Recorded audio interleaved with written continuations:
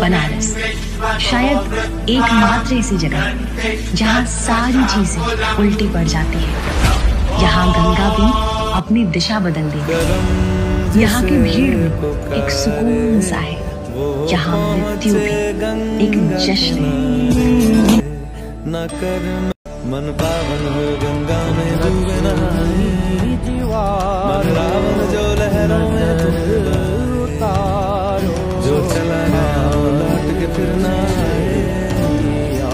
चला